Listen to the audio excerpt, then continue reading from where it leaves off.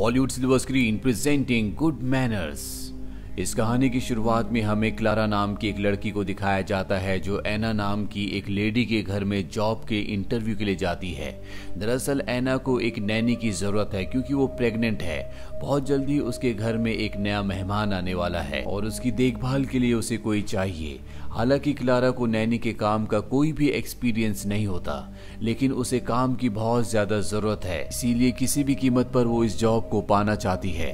अब जब वो एना से बात कर रही होती है, तभी एना को पेन होना शुरू हो जाता है। क्लारा उसे बहुत अच्छी तरह से संभालती है, जिससे इम्प्रेस होकर एना उसे जॉब दे देती है। लेकिन इस जॉब की एक शर्त होती है कि उसे यहीं पर रहना होगा। और जब तक उसका बेबी नहीं होता, क्लारा को यहाँ पर एक हाउसकीपर के तौर पर काम करना होगा। क्लारा उसकी बात मान जाती है और अपना सामान लेकर इसी घर में एना के साथ शिफ्ट हो जाती है। दरअसल एना इस पूरे घर में अकेली रहती है। अब रात को क्लारा देखती है कि एना ड्रिंक करके डांस कर रही है। दरअसल उसका आज ट्वेंटी नाइन्थ बर्थडे है। इसीलिए वो एंजॉय करने की कोशिश कर रही होती है। लेकिन अंदर से कहीं ना कहीं वो बहुत दुखी है। क्लारा जब उसके पास जाती है तो क्लारा को बताती है कि मेरी फैमिली में से कोई भी मुझसे बात नहीं करता। दरअसल मेरा एक बॉयफ्रेंड था जिसे मेरी फैमिली पसंद नहीं करती थी, जिस वजह से मेरी फैमिली मुझसे दूर हो गई। ये कहकर वो बहुत इमोशनल हो जाती है। अब नेक्स्ट डे एना अपना चेकअप करवाने के लिए हॉस्पिटल जाती है, जहाँ पर डॉक्टर उसे बताता है कि तुम्हारा बेबी बहुत ही हेल्दी है, लेकिन तुम्हारा बीपी बहुत हाई है। इसीलिए तुम्हें अब नॉनवेज नहीं खाना, तुम्हें सिर्फ़ वेजिटेरियन खाना खाना होगा। ये जानने के बाद क्लारा फ्रिज से सारा नॉन वेजिटेरियन खाना हटाकर वहाँ पर वेजिटेरियन खाना रख देती है, ताकि एना का ब्लड प्रेशर हमेशा नॉर्मल रह सके। उसी रात को एना एक क्लब जाती है और रात को जब वो लेट नाइट घर आती है तो फ्रिज में कुछ ढूंढ रही होती है। लारा की भी आँख खुल जाती है और जब वो एना के पास जाती है तो एना का रूप पूरी तरह से बदला हुआ होता है। वो उसके शोल्डर पर ज़ोर से काटती है, जिससे उसके शोल्डर पर ब्लड आना शुरू हो जाता है। लारा अपने आप को संभालते हुए एना को अपने से दूर करती है और कहती है कि आपको अपने कमरे में जाना चाहिए। एना अपने कमरे में चली जाती है और क्लारा वॉशरूम में आकर देखती है कि उसके शोल्डर से ब्लड निकल रहा होता है। उसे कुछ समझ नहीं आता कि एना ने ऐसा क्यों किया। अगली सुबह जब वो एना के पास जाती है तो ऐना पूरी तरह से नॉर्मल होती है। रात को उसने क्लारा के साथ क्या किया, उसे याद ही नहीं होता। पर क्लारा को ऐना की उस हरकत पर शक होना शुरू हो जाता है, क्योंकि इंसान चाहे कितना भी ड्रंक क्यों ना हो, उसे याद रहता है कि रात को उसने क्या क्या किया था। अब जब क्लारा डेट देखती है तो उसे पता चलता है कि एक दिन पहले फुल मून की नाइट थी। वो समझ जाती है कि इसका कनेक्शन फुल मून से कहीं ना कहीं है। और वो तय करती है कि अगली फुल मून नाइट को वो एना को ऑब्ज़र्व करेगी। और जब अगली फुल मून नाइट आती है तो एना रात को अपने बेड से उठ जाती है। वो चलते हुए बाहर जाती है जहाँ पर एक कैट होती है और वो उस कैट को पकड़कर मारकर उसका खून पी जाती है। क्लारा जब ये देखती है तो पूरी तरह से हैरान हो जाती है। वो चुपचाप घर वापस आ जाती है और अगली सुबह दिखाया जाता है कि एना को रात के बारे में कुछ भी याद नहीं होता और ना ही क्लारा उसे कुछ बताती है। पर जब वो एना के लिए ब्रेकफास्ट बनाती है तो उसमें अपना थोड़ा सा खून भी मिला देती है। एना को ब्रेकफास्ट बहुत ही ज़्यादा टेस्टी लगता है। क्लारा दरअसल उसे अपने तरीकों से चेक कर रही होती है। क्लारा उसे बताती है कि तुम्हें रात को नींद में चलने की आदत है। ये सुनकर एना बहुत ज़्यादा घबरा जाती है और क्लारा उसे रिलैक्स करते हुए कहती है कि ऐसा तुम सिर्फ़ फुल मून की नाइट को ही करती हो। प्रेगनेंसी में ऐसा होना बहुत आम बात है। एना भी उसकी बात से कन्विंस हो जाती है। और अब जब रात को एना सोती है तो क्लारा उसके बेड के चारों तरफ़ व्हाइट कलर का पाउडर डाल देती है, ताकि अगर रात को एना नींद में चले तो उसके पैरों में पाउडर लग जाए, और सुबह उसे पता चल जाए कि रात को एना नींद में चली थी या नहीं। पर अगली सुबह जब वो उसके रूम में आती है तो देखती है कि एना के पैरों में पाउडर नहीं लगा, यानी कि वो रात को नींद में नहीं चली। एना क्लारा को बताती है कि मेरा एक बॉयफ्रेंड था, लेकिन एक बार मैं अपने दोस्तों के साथ छुट्टियों पर गई थी, जहाँ पर मुझे एक आदमी मिला था जो कि बहुत ही अजीब था। जल्दी मेरी उससे दोस्ती हो गई। हम दोनों के दोनों माउंटेन्स पर घूमने गए, जहाँ पर हम दोनों एक दूसरे के फिजिकली बहुत ज़्यादा क्लोज हो गए। और जब मेरी आँख खुली तो मेरे पास एक गन थी, और झाड़ियों में मुझे चमकती हुई आँखें दिखी। मुझे कुछ समझ नहीं आया कि ये क्या है। मैं जब वापस टाउन में आई तो मैंने उस आदमी को बहुत ढूँढने की कोशिश की, लेकिन उस आदमी के बारे में किसी को कुछ नहीं पता था। कुछ ही महीनों बाद मैं प्रेग्नेंट हो गई, जिसके बाद मेरा ब्रेकअप हो गया। ये सारी कहानी बताते बताते एना बहुत ज़्यादा इमोशनल हो जाती है। लारा उसे बहुत प्यार से कंसोल करती है, कहती है कि सब कुछ ठीक हो जाएगा। एक महीना और बीत जाता और फुल मून की नाइट आती है। एना को पेट में बहुत ज़्यादा दर्द होना शुरू हो जाता है। क्लारा समझ जाती है कि अब उसकी डिलीवरी होने वाली है। वो डॉक्टर को कॉल करती है, लेकिन तब तक बहुत ज़्यादा देर हो चुकी होती है। एना के पेट में उसके बच्चे को दिखाया जाता है, जो खुद ही बाहर आने की कोशिश कर रहा होता है, और वो खुद बाहर आ जाता है, जिससे ऐना की मृत्यु हो जाती है। क्लारा जब उस बच्चे को देखती है तो समझ जाती है कि ये कोई आम इंसान का बच्चा नहीं है। ये एक वेयरवुल्फ है। लारा एना की उसी गन को उठाकर लाती है जो एना को उस वक्त मिली थी जब वो उस आदमी के क्लोज हुई थी। वो उस गन से उस बच्चे को मारना चाहती है, लेकिन क्लारा ऐसा नहीं कर पाती। इसीलिए वो उस बच्चे को उठाकर अपना सामान लेकर इस घर से निकल जाती है। दरअसल उसने तय किया होता है कि इस बच्चे को कहीं पर छोड़ देगी, लेकिन वो ऐसा नहीं कर पाती। उसके दिल में ममता और दया आ जाती है। इसीलिए वो इस बच्चे को अपने पुराने घर पर ले आती है और इसका नाम वही रखती है जो एना ने तय किया था, यानी कि जोएल। धीरे धीरे वक्त बीतता और सात साल बीत जाते हैं। जोएल अब सात साल का हो चुका है। उसकी ज़िंदगी दूसरे बच्चों की तरह पूरी तरह से नॉर्मल है। उनके साथ खेलता है, स्कूल जाता है वो सब काम करता है जो आम बच्चे करते हैं। और ना ही कभी क्लारा ने जोएल को उसकी असलियत के बारे में बताया होता है। लेकिन जब भी फुल मून की नाइट होती है, यानी कि पूर्णिमा की रात होती है, उस रात को क्लारा जोएल को जंजीरों से बाँध देती है। और अगली सुबह हमें दिखाया जाता है कि जोएल के पूरे शरीर में बाल होते हैं, उसके नाखून बढ़ चुके होते हैं। दरअसल हर फुल मून नाइट को वो एक वेयरवुल्फ में बदल जाता है। क्लारा ने ये सच दुनिया से छुपाया होता है। साथ ही उसने जोएल को हमेशा वेजिटेरियन खाना खिलाया होता, उसने कभी भी उसे नॉन वेज नहीं खिलाया होता, ताकि जोएल को मांस और खून के टेस्ट के बारे में कभी कुछ पता ना चले। जोएल की स्कूल की छुट्टियाँ हो जाती है। क्लारा जब काम पर जाती है तो जोएल को अपनी मॉम के घर छोड़ देती है। जहाँ क्लारा की मॉम देखती है कि जोएल बहुत ज़्यादा कमज़ोर लग रहा है, उसे पता होता है कि वो हमेशा वेजिटेरियन खाता है। इसीलिए क्लारा की मॉम जोएल के लिए नॉन वेज बनाती है, ताकि उसे खाकर उसके शरीर में ताकत आए।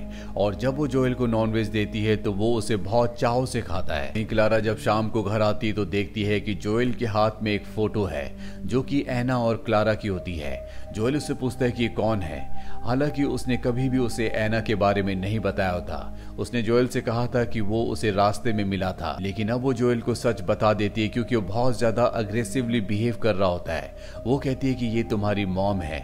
जब तुम पैदा हुए, तभी इनकी मृत्यु हो गई थी। जोएल कहता है कि तुमने मुझे इसके बारे में कभी क्यों नहीं बताया? और वो क्लारा के साथ अग्रेसिवली बिहेव करना शुरू कर देता है। क्लारा गुस्से में उसे उसी के रूम में बंद कर देती है, लेकिन अब जोएल ने उसे जख्मी भी कर दिया है। क्लारा को कुछ समझ नहीं आता कि वो इतना अग्रेसिव क्यों हो गया है। इसीलिए वो अपनी मॉम के पास जाती है उसकी मॉम बताती है कि मैंने उसे खाने में नॉनवेज दिया था। और क्लारा को समझ में आ जाता है कि नॉनवेज खाने की वजह से वो इतना ज़्यादा अग्रेसिव हो चुका है। आज भी फुल मून की नाइट होती है। अगली सुबह एक बार फिर से क्लारा उसके पास जाती और देखती है कि उसके पूरे शरीर में बाल है। लेकिन अब वो पूरी तरह से शांत हो चुका है। क्लारा उससे बहुत प्यार से बात करती है और उसे बताती है कि तुम्हारी मॉम का नाम एना था और उसे भी उसी तरह से डांस पसंद था जिस तरह से तुम्हें पसंद है। इसी तरह से कुछ और दिन बीत जाते हैं और उसके स्कूल खुल जाते हैं। क्लारा, जब जोएल को स्कूल ले जा रही होती है तो जोएल क्लारा से पूछता है कि मेरी मॉम की मृत्यु कैसे हुई थी? वो कहती है कि जब तुम बड़े हो जाओगे तो मैं तुम्हें सब कुछ बता दूँगी। वो क्लारा से अपने पिता के बारे में भी पूछता है, लेकिन क्लारा कहती है कि उनके बारे में मैं कुछ भी नहीं जानती। जब मेरी तुम्हारी मॉम से दोस्ती हुई थी, तब वो तुम्हारे पिता के साथ नहीं थी। और अब जोएल तय करता है कि वो किसी भी तरह से अपने पिता को ढूंढेगा। इसीलिए स्कूल खत्म होने के बाद वो अपने फ्रेंड से कहता है, क्या तुम मेरे पिता को ढूँढने मेरे साथ चलोगे? दरअसल, जिस बॉक्स के अंदर उसे अपनी मॉम की फ़ोटो मिली थी। उस बॉक्स के बाहर एक मॉल का एड्रेस लिखा होता है और वो चाहता है कि वो अपने पिता को ढूँढने के लिए उसी मॉल में जाए। इसीलिए वो अपने दोस्त के साथ उस मॉल की तरफ़ निकल पड़ता है। क्लारा जोएल का इंतज़ार करती है, लेकिन जोएल नहीं आता। इस बात से वो परेशान हो जाती है। सबसे पहले वो उसके दोस्त के घर जाती है, जिसके साथ वो मॉल गया है। लेकिन उस बच्चे के पिता कहते हैं कि वो जल्दी वापस आ जाएँगे, तुम्हें घबराने की ज़रूरत नहीं है। लेकिन उसके मन में डर होता है कि कहीं जोएल की असलियत सबको पता ना चल जाए। रात हो जाती है और जोएल अब भी घर नहीं आता। क्लारा चाहकर भी पुलिस स्टेशन नहीं जा सकती क्योंकि उसने जोयल को लीगली अडॉप्ट नहीं किया। वो उसका बच्चा नहीं है। वो पुलिस के सवालों के जवाब नहीं दे सकती। वहीं जोएल और उसके दोस्त को दिखाया जाता है जो दोनों मॉल में घूम रहे होते हैं। और अब मॉल बंद होने वाला है। सिक्योरिटी सबको मॉल से निकलने के लिए कहता है, लेकिन जोएल अपने दोस्तों के साथ वहीं कपड़ों के पीछे छुप जाता है। और जब मॉल बंद हो जाता है तो आसमान में हमें चाँद को दिखाया जाता है। आज भी फुल मून नाइट होती है। और जब चाँद पूरी तरह से निकल जाता है तो जोएल एक वेयरवुल्फ में बदलना शुरू हो जाता है, जो देखकर उसका दोस्त डर जाता है और वहाँ से भागना शुरू कर देता है। लेकिन जोएल जल्दी पूरी तरह से वुल्फ बनकर उसका पीछा करता है। हालाँकि उसका दोस्त लिफ्ट से नीचे जाने की कोशिश करता है, लेकिन तब तक जोएल वहाँ पर पहुँच जाता है, जो कि अब एक वुल्फ है। और वो अपने दोस्त को मार देता है। उसे मारने के बाद वो वापस अपने घर आ जाता है। लेकिन क्लारा की मॉम उसका वो रूप देखकर डर जाती है। वो क्लारा से कहती है कि हमें चर्च के फादर को बुलाना होगा। इस पर बुरी आत्माओं का साया है। क्लारा कहती है कि ऐसा कुछ नहीं है, ये एक वेयरवुल्फ है और वो अपनी मोम को ऐसा करने से रोक लेती है। क्लारा समझ जाती है कि अब उसे शहर को छोड़कर जाना होगा। वो तय करती है कि वो जोयल को लेकर इस शहर से निकल जाएगी। दरअसल बचपन से उसने जोयल को एक माँ की तरह पाला है। वो उसे अपना बेटा समझती है और वो नहीं चाहती कि उसे किसी भी तरह से कोई भी नुकसान पहुँचे। सुबह होने के बाद जोएल को कुछ भी याद नहीं होता कि रात को उसने क्या किया। क्लारा जोएल से पूछती है कि तुम कहाँ गए थे? वो बताता है कि मैं अपने दोस्त के साथ मॉल गया था। लेकिन जब मैं वापस लौटा तो मैं अकेला ही था। लारा समझ जाती है कि उसने वेयरवुल्फ बनने के बाद अपने दोस्त को मार दिया। इसीलिए वो कहती है कि हमें शहर को छोड़कर जाना होगा। लेकिन जोएल इस शहर को छोड़कर नहीं जाना चाहता, इसलिए धोखे से क्लारा को कमरे में बंद कर देता है। उसी कमरे में, जिस कमरे में क्लारा हमेशा उसे पूरे चाँद की रात को बंद करती है। और अब जोएल स्कूल चला जाता है। दरअसल वो किसी भी कीमत पर अपने पिता को ढूंढना चाहता है। स्कूल जाने के बाद वो देखता है कि आज उसका दोस्त नहीं आया। वही न्यूज़ में हमें दिखाया जाता है कि मॉल में लिफ्ट के पास बहुत सारा ब्लड मिला, लेकिन वहाँ पर किसी की बॉडी नहीं मिली, जिसका मतलब ये है कि जोएल ने अपने दोस्त को मारकर खा लिया था। वहीं क्लारा ऑफ़िस नहीं गई होती, इसीलिए उसकी कॉलिग उसके घर पर आती है। वो देखती है कि घर का दरवाज़ा खुला हुआ है, और जब वो अंदर जाती है तो उसे पता चलता है कि क्लारा को किसी ने कमरे के अंदर बंद किया हुआ है। वो क्लारा को बाहर निकाल देती है, जिसके बाद क्लारा व्हाइट कलर के एक बॉक्स को निकालती है, जिसके अंदर वही गन होती है जो वो एना के घर से लेकर आई थी। वो उस गन को लेकर घर से निकल पड़ती है। दरअसल वो जोएल को ढूंढना चाहती है। वहीं जोएल को दिखाया जाता है जो अपनी दोस्त के साथ डांस कर रहा होता है क्योंकि उसे डांस करना बहुत ज़्यादा पसंद है। और आज भी पूरे चाँद की रात है। और जब चाँद पूरी तरह से आसमान में निकलना शुरू हो जाता है तो जोएल एक बार फिर से वेयरवुल्फ में बदलने लगता है। और अब उसे एहसास हो जाता है कि असल में वो क्या है। वो अपनी दोस्त को वहाँ से भागने के लिए कहता है, लेकिन इससे पहले कि वो वहाँ से जाती। यहाँ पर जोएल पूरी तरह से वुल्फ बन जाता है। वो अपनी दोस्त पर अटैक करने वाला होता है कि वहाँ पर क्लारा आकर उसके पैर पर गोली चला देती है, जिससे वो जख्मी हो जाता है। और इसके बाद क्लारा उसे उठाकर अपने घर ले आती है, जहाँ पर सबसे पहले वो उसके हाथों को जंजीरों से बाँध देती है। और इसके बाद उसके पैर पर जो गोली लगी होती है, वो उस गोली को निकाल देती है। वहीं हमें क्लारा के घर के बाहर दिखाया जाता है, जहाँ पर शहर के सभी लोग, जिन्हें पता चल चुका है कि जोएल एक वेयरवुल्फ है, उसे मारने के लिए उसके घर की तरफ़ आ रहे होते हैं। क्लारा नहीं चाहती कि जोएल को कोई भी मारे, क्योंकि उसे पूरा विश्वास होता है कि वो जोएल को पूरी तरह से बदल सकती है। लेकिन जोएल अब भी बहुत ज़्यादा अग्रेसिव होता है। इसीलिए क्लारा जोएल को लोरी सुनाती है, जो कभी एना गाया करती थी जब जोएल एना के पेट में था।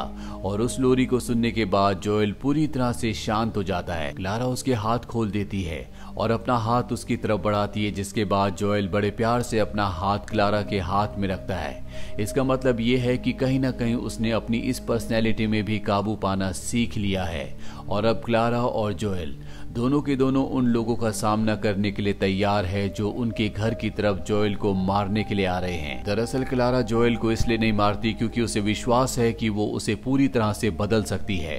उसे एक भेड़िया बनने की बजाय एक इंसान बना सकती है, जिसका एक सबूत ये भी होता है कि जब उसने जोएल को लोरी सुनाई होती है तो पूरी तरह से शांत हो गया होता है, यानी कि वो उसके दिमाग को कंट्रोल कर सकती है, उसे गुड मैनर्स सिखा सकती है।